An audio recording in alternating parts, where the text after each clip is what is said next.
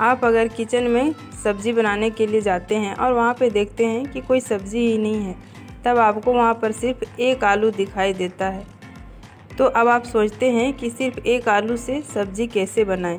तो चलिए आज हम आपको दिखाते हैं कि आप एक आलू से सब्ज़ी कैसे बना सकते हैं। तो सबसे पहले हम एक आलू को लेंगे और उसे इस तरह से स्लाइस में काट लेंगे। फिर उसे हम साफ़ पानी में डालकर उसका जो स्टार्च है उसे निकाल लेंगे।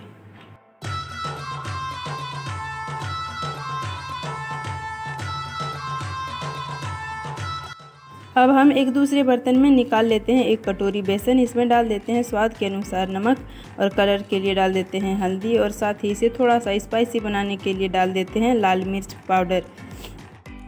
अब ज़रूरत के अनुसार पानी डाल देते हैं और इसका एक पेस्ट तैयार कर लेते हैं।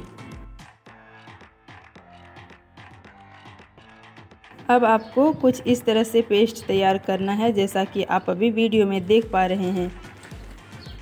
अब हम स्लाइस किए हुए आलू को लेंगे और उसे एक तरफ़ से बेसन में कुछ इस तरह से डीप करेंगे और इसे गरम तेल में डालकर फ्राई कर लेंगे।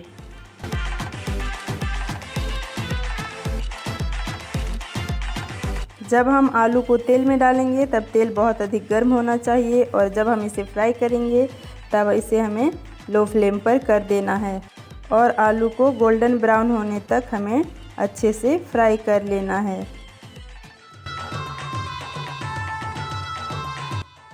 आलू फ्राई हो चुके हैं तो चलिए अब हम मसाले की तैयारी कर लेते हैं। तो सबसे पहले हम एक बड़े आकार का प्याज लेंगे, उसे रफली चॉप कर लेंगे।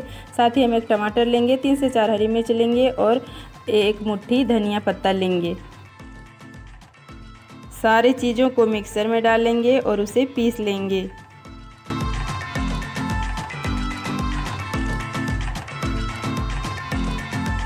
तेल को अच्छे से गरम करेंगे और जो मसाले अभी हमने पीसे हैं उसे सीधा ही तेल में इस तरह से डाल देंगे और इसे लो फ्लेम पर दो मिनट तक पकाएँगे। उसके बाद हम इसमें डाल देंगे एक चम्मच जीरा पाउडर, एक चम्मच धनिया पाउडर, आधा चम्मच हल्दी पाउडर और दो चम्मच अदरक लहसुन का पेस्ट और इसे लो फ्लेम पर ही 30 सेकेंड तक भूनेंगे। अब हम इसमें तीन से चार बड़े चम्मच दही डाल देंगे और इसे अच्छे से मिक्स कर लेंगे। एक मिनट तक पकने देंगे और अब हम इसमें डाल देंगे कसूरी मेथी अच्छे से क्रश करके। लगातार चलाते हुए इसे भी एक मिनट तक पकाएँगे और अब हम इसमें डाल देंगे आधा कटोरी पानी और इसमें उबाल आने देंगे।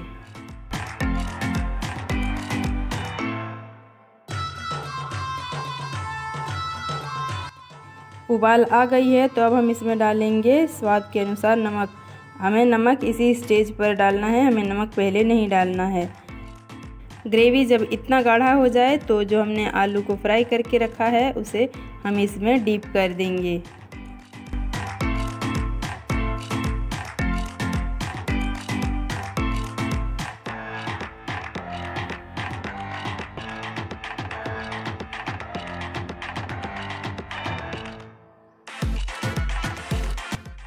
इसे गर्मा गर्म रोटी, कचौरी, पूरी किसी के साथ भी खा सकते हैं।